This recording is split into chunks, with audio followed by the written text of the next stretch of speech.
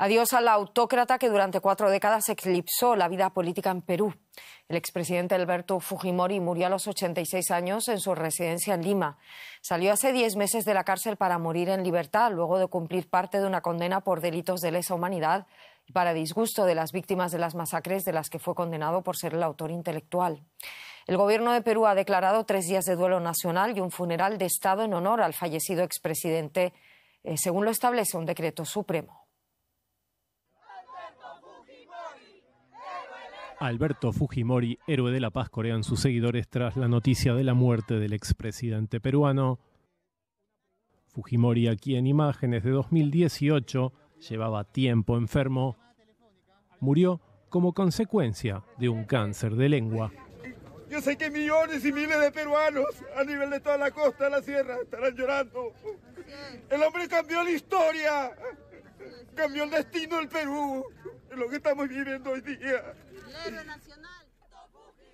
Aunque Fujimori siempre contó con un grupo leal de seguidores en Perú, fue una figura profundamente divisiva en la política del país. Hijo de inmigrantes japoneses, inició su carrera política como un outsider, obteniendo inicialmente el respaldo de sectores de la izquierda.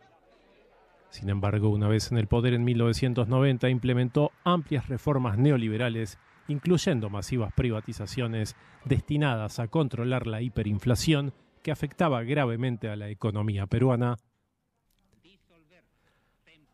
A lo largo de su década en el poder, Fujimori adoptó un estilo de gobierno cada vez más autoritario.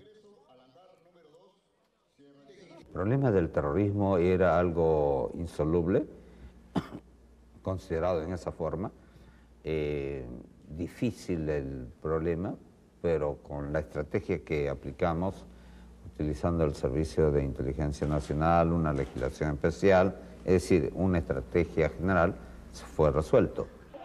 Más tarde llegaron las acusaciones de utilizar escuadrones de la muerte en su lucha contra estos grupos insurgentes. La indignación popular fue en aumento. Las protestas estallaron cuando salieron a la luz los escándalos de corrupción de su gobierno, lo que provocó una crisis política. Aunque Fujimori huyó del país, más tarde regresó y fue encarcelado en 2009 por violaciones de los derechos humanos.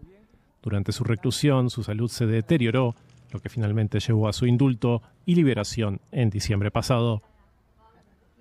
Incluso se planteaba la posibilidad de postularse nuevamente a la presidencia.